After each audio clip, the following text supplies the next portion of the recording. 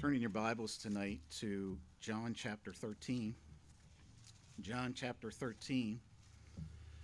And we're going to read the passage as we go along and we study the Word of God. The title of my sermon tonight is kind of unusual, but it's How to Have a Dirty Towel. How does Jesus Christ want us to have a dirty towel? For three and a half years, Jesus has taught and had performed miracles and had lived with his disciples. But coming into the upper room experience, the disciples were arguing and fighting and uh, about who would have the biggest part in the kingdom of God. Did they really understand who Jesus was or why he had came? The disciples were focused on one thing, and that was themselves. What does, what does Jesus do? And it's, an, it's important to notice the time that this is taking place. Jesus, uh, at this time, he gets up and starts to wash their feet. Now, think about the timing here. He was within hours of a crown of thorns. He was within, an, without, within hours of a cat of nine tails, of a crowd spitting in his face, and being nailed to a cross. He knew his time had come and he knew it was his time to die for our sins. But yet he takes time out to do what? To humble himself and wash the disciples' feet. Jesus teaches them how to serve, or can I put it, how to have a dirty towel. Look in John chapter 13. Now, before the feast, the true feast of the Passover, Jesus' time had come to die uh, the Passover, when Jesus knew that his hour was come, that he should uh, depart out of this world unto the Father, having loved his own which were in the world, he loved them unto the end. So, first of all, I want you to see the desire for a dirty towel. If we want a dirty towel, we're going to have to have a desire to get it. And the first thing we learn here in John chapter 13 and verse 1 is that uh, is Jesus' sincerity to have a dirty towel. He came, uh, uh, Jesus' sincerity came from the fact that he loved his, his disciples. He loved them all that he could, or he loved them to the uttermost. That's what the last part of the verse means. He loved them unto the end. True service comes from a heart of love. May we remember that. True service comes from a heart of love. May you ask yourself this, these questions tonight Do I serve out of obligation? Do I serve because of pride? Do I serve because it is expected of me? Or do I serve out of a heart of love? Christ's love for us caused him to serve at any cost. Christ's love for us caused him to serve at any cost. So not only do we see Jesus' sincerity to have a dirty towel, we see, next of all, Jesus' putting aside his authority. It's kind of interesting to note here. Let's look in verse 2 and 3. And the supper being ended, the devil having now put in the heart of Judas Iscariot, Simon's son, to betray him. And it's kind of interesting how verse 3 is inserted here. Jesus, knowing that the Father had given all things into his hands, that he was come from God and went to God. Christ was given all things into, the hand, into his hands from God the Father. He was the one, may we remember, he is the one who should be served and should have been served. But our Creator became a servant. So, what is Jesus doing here? He has the authority, he has the position, but he puts it aside. And what does he do? He puts it aside to serve. He had the rightful authority. And uh, we see this, and we see that he left the praise and adoration in heaven uh, to do what? Well, Philippians chapter 2, let's turn there. Philippians chapter 2.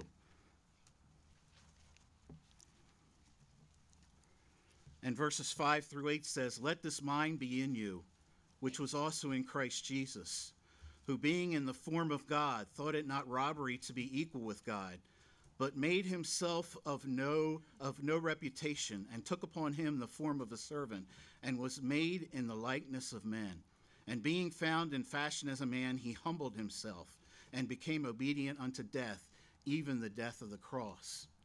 So we see there that Jesus' sincerity, his desire to have a dirty towel, came from a heart of love. Jesus put aside his authority, the true authority, and his rightful authority. So, what do we see next in John chapter 13? We see Jesus' humility. Jesus' humility.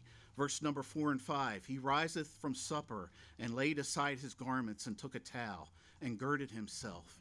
And that he poureth water into a basin and began to wash the disciples' feet and to wipe them with a towel wherewith he was girded. Christ had the authority, but he humbled himself. He humbled himself to do the Father's will, and he humbled himself to teach the disciples a valuable lesson. You will not serve God effectively until you do these three things, until you sincerely serve him out of a heart of love, until you put aside your authority where you think you have a rightful place. And number three, you humbly submit to Christ. You can show your authority and do whatever you want, but are you willing to get off your self focus and give it to God and humbly do the Father's will? So we see, first of all, the desire for a dirty towel. Second of all, we see the debate for a dirty towel. Let's look in verses 6 through 11. Then cometh he to Simon Peter, and Peter saith unto him, Lord, dost thou wash my feet? Jesus answered and said unto him, What I do thou knowest not, but thou shalt know hereafter. Peter saith unto him, Thou shalt never wash my feet. Jesus, answered him, If I wash thee not, thou hast no part with me. Simon Peter saith unto him, Lord, not my feet only, but also my hands and my head. Jesus said to him, He that is washed needeth not save to wash his feet, but is clean every whit, and ye are clean, but not all.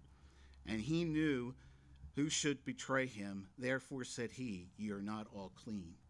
So we see here a debate about the dirty towel, or for a dirty towel. First of all, let us notice the pride in washing. The pride in washing. Peter knew at this time it was the job of one person to wash another's feet, and that was the job of a slave. It was the slave's job in Bible times to wash uh, people's feet. The pride in washing was a, was a badge of slavery. And Peter was wondering in his mind if Christ is willing to become a servant and to become a slave, then what am I? And Peter tells Jesus to do what? Stop, stop, don't wash my feet. But we see here, we see Peter's pride. And we have to ask ourselves where do we have pride in serving? Where is our pride in serving? Maybe we're asked to serve in the nursery. Oh, I'm not serving there. That's, that's, that's below me. Or maybe we're asked to clean the church or to clean the bathrooms. Oh, oh no, I can't do that. There's no way I'm going to serve in that kind of capacity. There is pride in a person's heart who won't do whatever the Lord wants them to do. Then we see here not only the pride in washing, we see the principle in washing. This act of Jesus was a badge of fellowship, a badge of fellowship. Peter, if you don't let me wash your feet, then you won't have fellowship with me. Jesus wanted to do this for his disciples. He wanted to do that do this for him, for them. Now we need to ask ourselves this question are we trying to do what the Lord wants to do for us? Are we trying to do what the Lord wants to do for us? Are we blocking the Lord out and not letting him do the things he wishes to do for us? Are we telling the Lord, Lord, I don't need you. I can handle this on my own? But Jesus served the disciples out of a heart of what? What did we learn? Out of a heart of love in verse 1. Jesus loves me, this I know. For the Bible, does he not love us? Yes, he does. And the Lord loves us, and he wants to do things for us.